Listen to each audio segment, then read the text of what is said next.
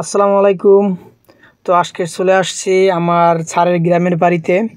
তো এখানে আসছে যে যা দেখলাম, সেটা হইল আমাদের ড্রাইভারদের জন্য কি সুন্দর থাকার আয়োজন করেছে তারা দেখেন।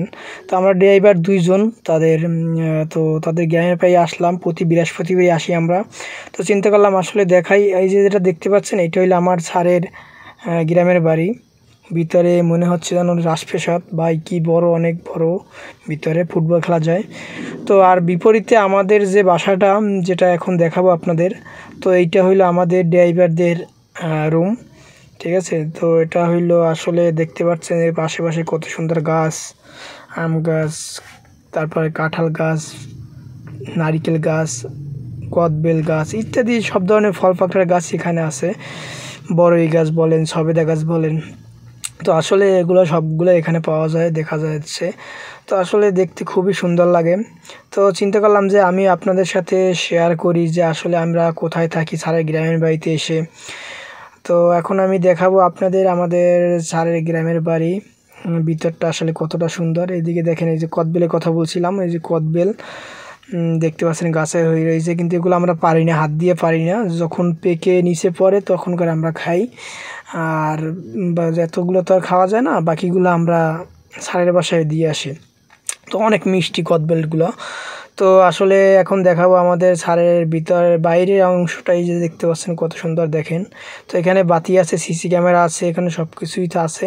তো এখানে বসে রাত্রেবেলা আমরা ওই সময় খেলাধুলা করি অনেক সময়। তো এখন আমরা দেখাবো ভিতরের অংশ।